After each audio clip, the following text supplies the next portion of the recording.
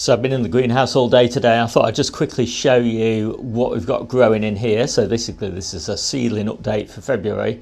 I've got a few bits and pieces in the polytunnel on the allotment, but basically they're just all the successions of the same things that I've got here. So up on the top shelf there we've got red ruble kale, parsley, uh, what's left of the field beans that I've got planted out outside, so I'll show you those because the ones outside look so much nicer.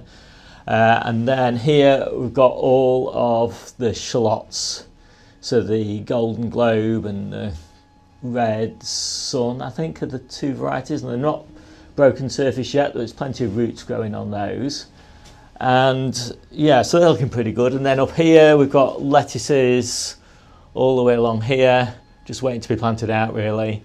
And then down here, we've got all of the salad onions that are waiting to go out uh, in probably about two or three weeks time. These salad onions are all varieties that can be left to grow on though uh, to uh, bulb up and uh, be harvested as early main crop onions. So, uh, so it's nice really to have that flexibility. And then down here, I've got my test sowings of all of my main crop onions and the Karmen have come up really nicely.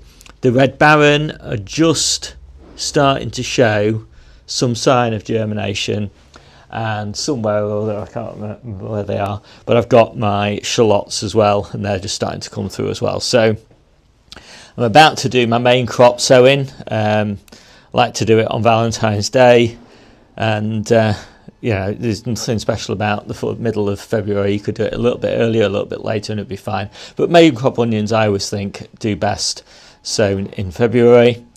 And then I've got my first early uh, tomatoes, so they're red profusion.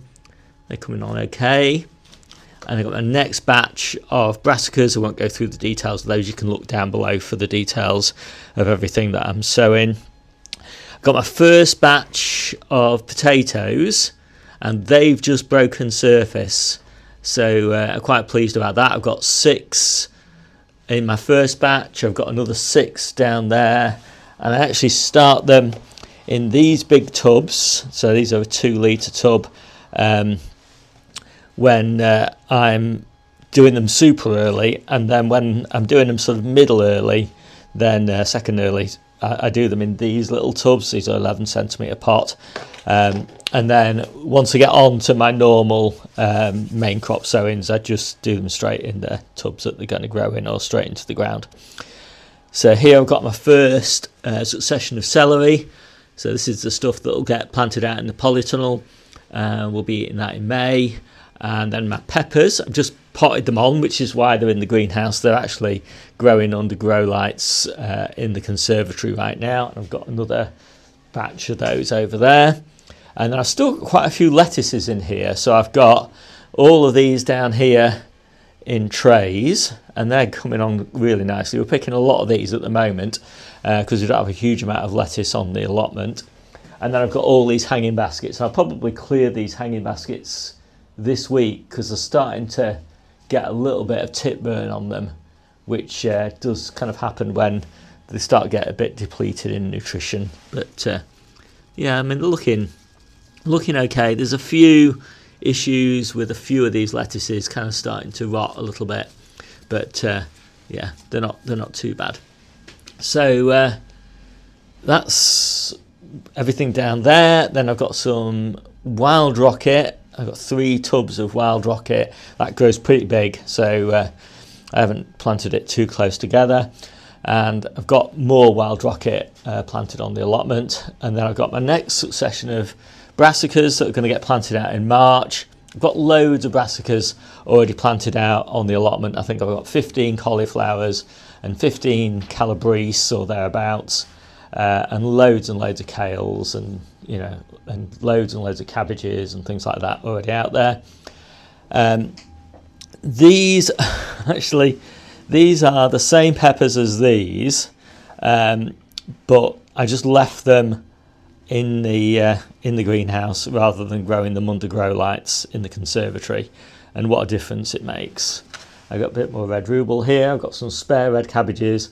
I've got most of my red cabbages now planted out actually, uh, and they're interplanted with um, green spring cabbages, and uh, they'll be harvested for spring greens, and then the space will be.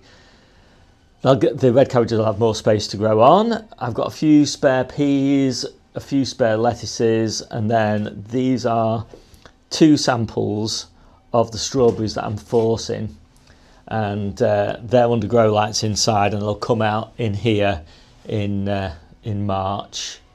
And I think just kind of looking around oh I've got peas.